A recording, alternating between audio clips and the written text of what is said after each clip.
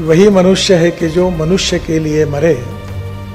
यही पशु प्रवृत्ति है कि आप आप ही चरे वही मनुष्य है कि जो मनुष्य के लिए मरे। कि मनसा सततम स्मरणीयम वचसा सततम वदनीयम लोकहितम मम करणीयम।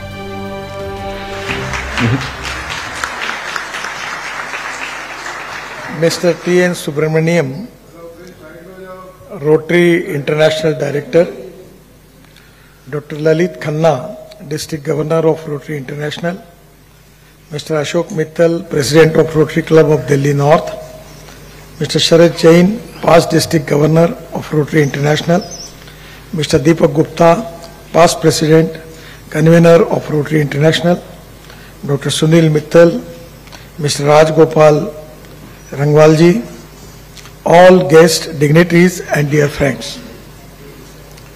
सबसे पहले मैं आपको बहुत बहुत बधाई दूँगा कि विशेष रूप से मेंटल हेल्थ ये कोविड के बाद एक बहुत बड़ी समस्या तैयार हुई है।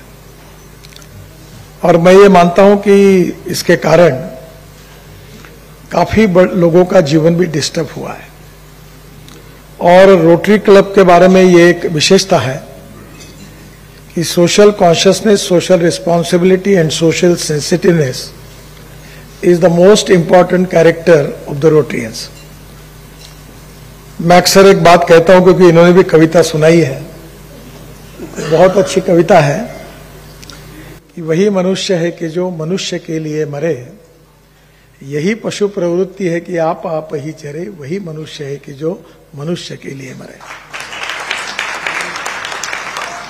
और इसलिए मैं भी अक्सर एक संस्कृत कविता को याद रखता हूँ कि मनसा सततम स्मरणीयम, वचसा सततम वदनीयम, लोकहितम मम करणीयम। समाज के जो शोषित है, पीड़ित है, दलित है, असाई है, उनके प्रति संवेदनशीलता रखकर, उनके जीवन को सुसह्य करने की कोशिश करना, ये सामाजिक दायित्व के रूप में हम सबकी बहुत बड़ी ज़िम्मेदारी है। अभी भूटान के जो प्रधानमंत्री थे, उन्होंने happy human, domestic happy human index इसकी बात की है। यूनो में भी इसकी चर्चा हुई है। और आज हम समाज में सस्टेनेबल डेवलपमेंट करने के साथ, ये जो डोमेस्टिक हैप्पी ह्यूमन इंडेक्स है, वो कैसे हासिल कर सकते हैं this is one of the important challenge for the society और इसमें एक बात ज़रूरी है कि ऐसी बहुत सी समस्या है जिसके लिए हम लोग अगर चाहते तो बहुत कुछ काम कर सकते हैं। और यही बात है कि आज रोटरी क्लब ने, दिल्ली नॉर्थ रोटरी क्लब ने मेंटल हेल्थ के इशू को एक प्रकार से ऐसे असह्य लोगों को मदद करने के लिए इस सेंटर की शुरुआत की है। मैं सबसे पहले आपको ये भी अनुरोध करूँगा कि positivity and self confidence is very important in the life of everybody और इसमें इसका संबंध व्यक्तियों के ऊपर जो संस्कार होते हैं, उनके साथ होता है।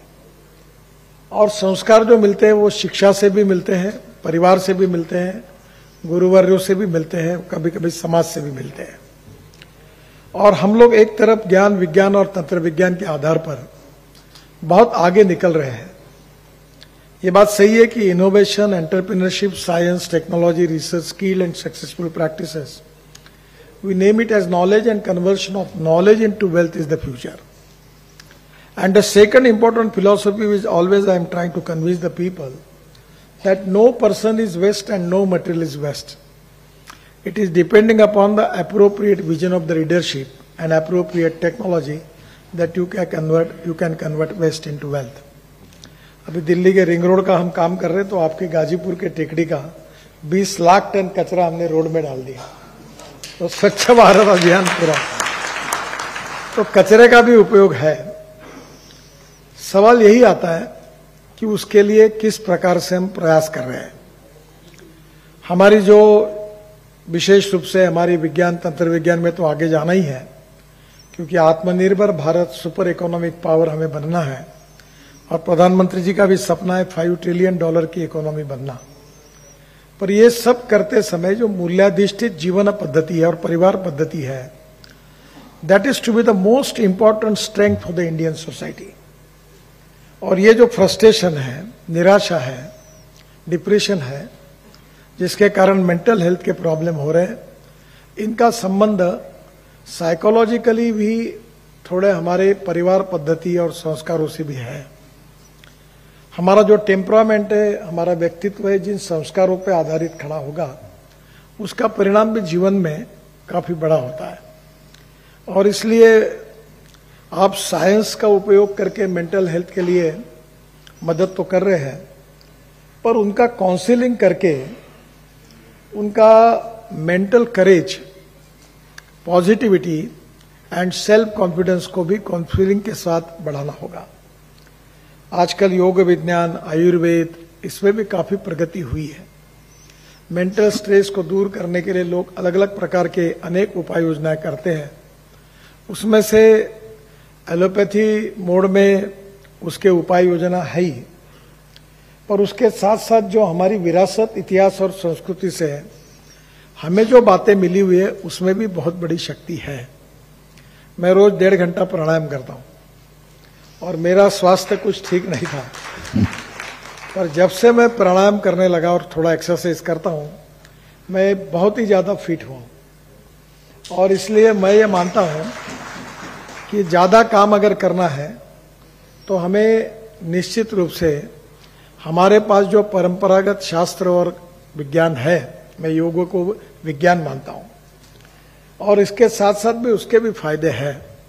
मैं एक ही बात आपको कहूँगा कि एलोपैथिक उपचार, जो मेंटल हेल्थ के वो सेंटर खोल के तो ज़रूर करिए पर उसके साथ, उसके काउंसिलिंग में निश्चित रूप से हम बाकी भी बातों के साथ, उसके माइंड सेटअप को कैसे बदल सकते हैं, ये भी कोशिश करने के लिए काउंसिलिंग करें। और ये भी उतना ही इम्पोर्टेंट है, क्योंकि कोविड के बाद इसके काफ़ी साइड इफेक्ट्स आए हैं, पर फिर भी आप लोगों को मैं इसलिए धन्यवाद दूँगा कि social consciousness social responsibility social awareness कि वही मनुष्य है कि जो मनुष्य के लिए मरे। यही पशु प्रवृत्ति है कि आप आप ही चरे, वही मनुष्य है कि जो मनुष्य के लिए मरे।